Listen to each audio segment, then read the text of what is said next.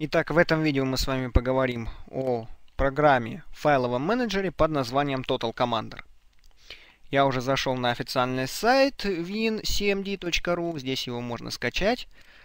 Давайте э, скачиваем полную э, русифицированную версию сразу же по ссылке. Вот здесь нам показывается краткий список историй э, программы и так далее. Вот здесь ссылка есть скачать, нажимаем на нее.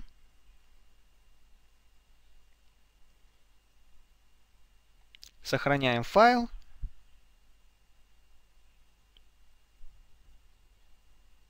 Восемьсот десять килобайт на всего занимает. Раскрываем данный архив.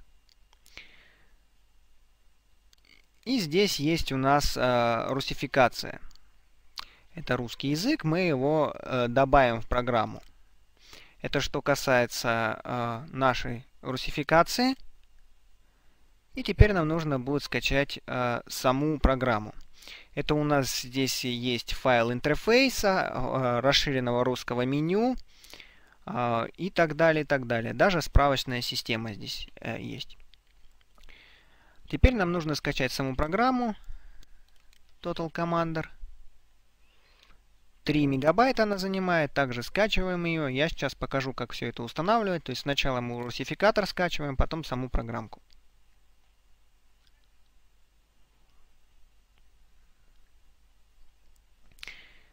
Я сразу же перехожу а, в папки, где мы это все сохранили.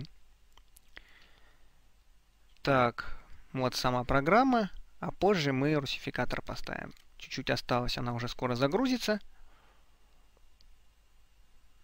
Вот загрузилась. Так, устанавливаем данную программу.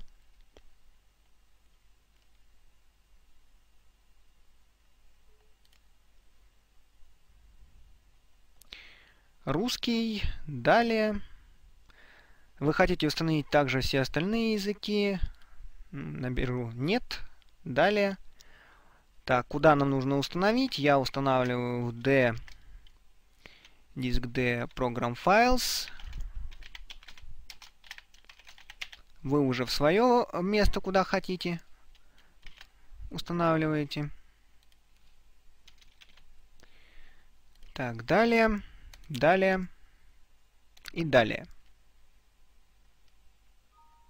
Установка завершена. Так, вот у нас появился Total Commander в меню. Ага, даже мы, получается, скачали сразу же русифицированную версию. Ну, это еще лучше не нужно будет русификатор устанавливать и так далее. Программа э, выпускается под э, лицензией Shareware. Это значит, что, э, в общем, она э, платная, но пользоваться ей можно также и бесплатно. Просто при запуске будет выводиться такое окошко. Вот, и здесь будет, нужно будет нажимать на нужную цифру, которую нам показывают. Вот здесь нам нажмите кнопку номер 3. То есть мы нажимаем и можем с программой работать. Автоматически открываются настройки, э, в которых мы сейчас можем здесь полазить. Давайте пока все это закроем и разберемся вообще, что к чему. Total Commander представляет из себя а, вот такой файловый менеджер. Давайте лишнее закроем, чтобы нам не мешало. Сейчас я растяну его на рабочем столе и будем работать. Итак, в общем, он представляет из себя а, файловый менеджер, который а, позволяет работать с файлами. Отличительной особенностью является то, что мы здесь видим две панели, можем заходить в различные папки и так далее. Так, что у нас здесь есть? Какие возможности? Давайте зайдем в конфигурацию настройка. Первым делом здесь есть вид окна, отображать панель инструментов, вот, например, снимем. Панель инструментов исчезла. Ну, это то место, где находятся кнопки. Можно отображать также кнопки дисков, которые у вас установлены. Вот в таком формате они будут отображаться. Так, следующее. Э, две панели кнопок дисков. То есть мы можем сделать вот так. Тогда у нас здесь будут отображаться здесь и здесь. Так только в одном месте. Так, кнопки плоские. Так. либо такие объемные, это по вашему желанию. Окно выбора дисков, вкладки папок, имя текущего каталога, то есть э, где мы сейчас находимся. Цепочки навигации показывают нам э, пути, где мы уже находились. Автоматически раскрывать при наведении указателя мыши.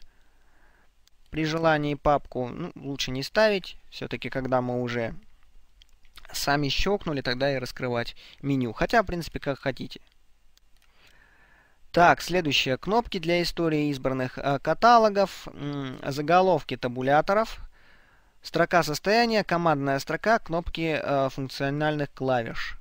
То есть э, быстрые клавиши, так называемые. Еще одна опция это плоский интерфейс, к панели инструментов не относится, и стиль XP Vista для фона меню. А, то есть, если мы уберем, вот такой стиль. Если поставим, полупрозрачность такая как бы небольшая. Так, содержимое панелей. А, здесь длинные имена файлов. У нас стоят... Так, давайте посмотрим. Значки здесь можно. Показ значков, связанных с типом файлов. То есть какой-то, например, mp3 будет показано а, мини такое mp3-шное а, изображение, показывающее, что это музыкальный файл. Шрифты, цвета, а, так, вкладки папок, показывать заголовок вкладки, даже если она одна, размещать вкладки несколько рядов, то есть можно будет перемещаться. Давайте настроим это. Так, что еще? Так, а, наборы колонок. Основные операции здесь вот очень интересная. А, давайте сделаем, чтобы как в Windows было. Левой кнопкой мы выделяем а, файл и, соответственно, можем его открывать. Так, что еще? Запрет одновременного запуска нескольких копий можете поставить, если нужно. Так, сворачивать в системный трей, когда закрываем, ну, это не нужно. Также в Total Commander встроена уже программка, а, так называемый редактор. Ну, на самом деле он, конечно, не встроен, он берется из системы notepad.exe. Кстати, я рекомендую не использовать стандартный блокнот, а лучше скачать программку. Называется она Notepad++. Мы можем это в Яндексе здесь увидеть. Вот, например, Notepad++. Скачайте лучше ее и используйте вместо стандартного блокнота. И здесь ее можно указать, где она хранится. Э, эта программа будет заниматься у нас э, просмотром файлов по клавише F3. Так, операция с файлами, автоматический выбор способа копирования, автообновление. Так, быстрый поиск в текущем каталоге, можно по Ctrl-Alt перейти. FTP, если мы подключаемся к удаленным серверам каким-то, так называемый а, канал FTP, файл Transport Protocol, то а, здесь можно вот такие настройки задать, 999 количество попыток и задержка между попытками в одну секунду. Вот, если нужно, то мы это здесь задаем вот именно в таком а, параметре. Это наиболее лучшие настройки к серверу, чтобы можно было подключиться, на котором хранятся файлы. То есть есть такие сервера файловые, FTP называется. Плагины. Программа также поддерживает множество различных плагинов, которые к ней прицепляются. Например, это архиваторные плагины, плагины э, файловой системы, какие-то внутренние э, плагины для просмотра и так далее. То есть все эти плагины, во-первых, можно добавить их, э, скачав предварительно с сайта. На сайте, кстати, можно посмотреть вообще, какие плагины есть. Здесь есть э, слева раздел плагинов, и при желании вы можете, соответственно, тот или иной плагин скачать. Ну, давайте что-нибудь посмотрим. Что здесь есть? Так. Контентные. Так, просмотр. Что здесь есть? Давайте скачаем вот такой вот текстовый редактор. Просмотрщик. Так, скачиваем ее. Сохраняем. Просто я на примере этого плагина покажу, как вообще плагины устанавливаются. Так, вот такой архив у нас появляется. Давайте здесь закроем это окошко и как нам здесь советуют, чтобы установить плагин, перейдем, соответственно, в архив этого плагина. Итак, я сейчас открою папку там, где у нас э, этот файл вообще хранится. Так, вот эта папка. Открываем ее. Нам говорят, э, этот архив содержит следующий плагин. Вы хотите установить его? Я говорю да. И окей. Все, теперь он у меня в настройках появляется. Я могу э, здесь его увидеть. И окей. Соответственно, чтобы просмотреть какой-то файл, давайте что-нибудь откроем. Я нажимаю на соответствующую клавишу F3 на клавиатуре. И здесь э, я вижу вот этот редактор. Просто там у меня почему-то открылась еще и настройка. Вот этот самый редактор, который мы с вами скачали, он также даже поддерживает и просмотр не только текстовых именно документов, но и э, HTML документов, то есть веб-страничек. Вот так интересно. А по F3 у нас, видимо, еще и это просто у нас настройки были открыты, поэтому они открылись второй раз. Так, ладно. Конфигурация настройки. В общем, таким образом устанавливаются плагины. Различные. Так, файл отчета, список исключений, архиваторы. Также Total Commander поддерживает такую очень интересную вещь. Он может, не распаковывая, э, помочь зайти нам в архив и посмотреть внутри, э, какие у нас есть файлы. А, здесь у нас вот указано уже, что rar.exe у нас есть установка. Это WinRAR архиватор. Зиповские также файлы он открывает и тому подобные вещи. Так. И обязательно запрашивать подтверждение, когда мы удаляем что-то, перезаписываем и так далее. Вот эти галочки должны стоять в категории «Разное». Окей. Итак, соответственно, что еще мы здесь можем делать? Вот у нас есть специальные кнопки «Упаковать файлы» либо «Распаковать файлы». Это что касается к архивам относится. Далее соединиться с FTP сервером. Можем добавить новое соединение. Сюда ввести имя пользователя, название сервера, а, пароль, логин и пароль поставить галочку здесь э, пассивный режим обмена, обычно это требуется, и ОК. Это если вам нужно каким-то FTP серверам подключаться. Следующее, поиск. Здесь очень интересный поиск реализован. Можно искать файлы не просто по имени, но еще и по содержимому. Если поставим галочку с текстом, можем сюда что-то написать, затем поставить, например, только слово целиком, либо учитывать регистр символов, то есть маленькими либо большими буквами. И у нас будут найдены какие-то документы, которые содержат в себе какое-то слово, например. Очень, очень удобно. Клавиша дополнительно поможет нам здесь задать дату изменения этого файла. Плагины. Э, здесь можно задать какие-то определенные настройки э, плагинов для того, чтобы ввести поиск и шаблоны поиска. Здесь можно сохранить какие-то определенные шаблоны, которые мы ранее задавали. То есть вот здесь то, что мы задали, можем сохранить и их использовать. Закрываем. Так, что еще? Группового переименования файлов, то есть мы можем выделить несколько файлов и переименовать их по какому-то определенному шаблону. То есть не тыкать по одному, а очень удобно. То есть, например, есть у вас 100 песен в MP3, эм вы хотите их переименовать, просто от 1 до 100 сделать, чтобы было. Воспользуйтесь этой опцией, и она легко вам поможет. Давайте что-нибудь здесь посмотрим. Какую-нибудь э, папку заглянем. Давайте на диск D. Например, и посмотрим что-нибудь, что можно здесь переименовать. Просто хочу показать вам.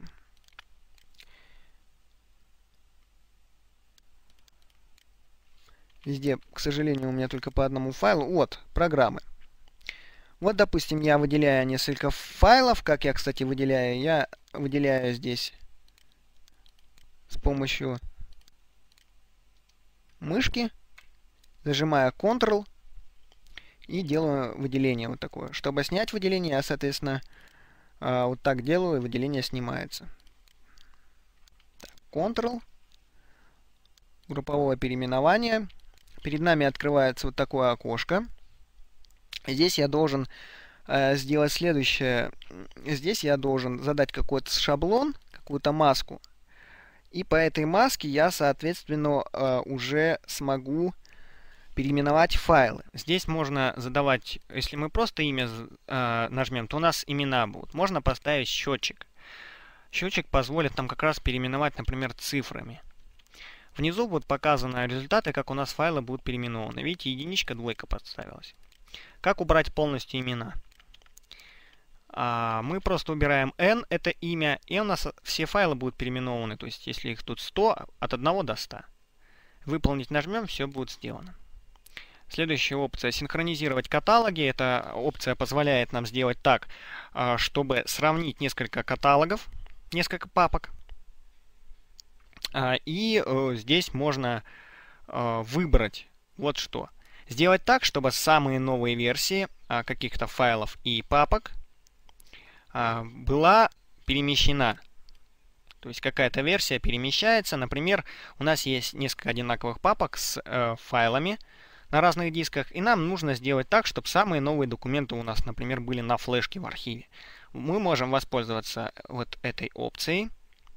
Соответственно, из C синхронизировать в D.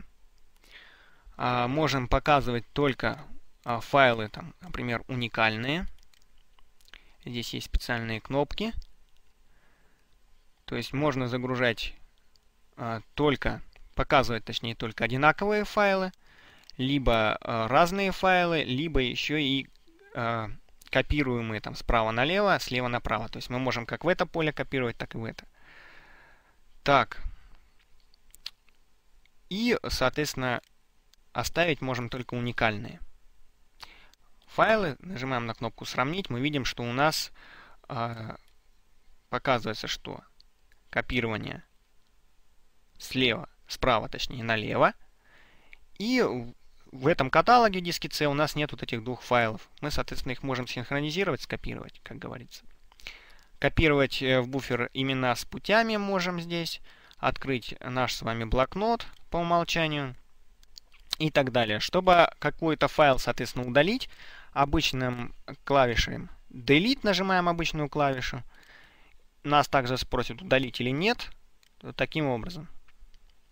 То есть на самом деле все очень интересно. Можем показывать все файлы без а, подкаталогов, то есть не будут отображаться там какие-то дополнительные у нас еще ветки, если мы нажмем эту кнопку. Но это немножко сужает наш обзор. То есть у нас вот что происходит. Сейчас произойдет процесс чтения. Я нажму лучше Escape. То есть у нас не будут показаны э, файлы сами, а точнее папки, где хранятся эти файлы. Это неудобно, поэтому вот таким образом. Так, что еще есть? Просмотр эскизов документов. А, так, активно. Только имена файлов можем показывать.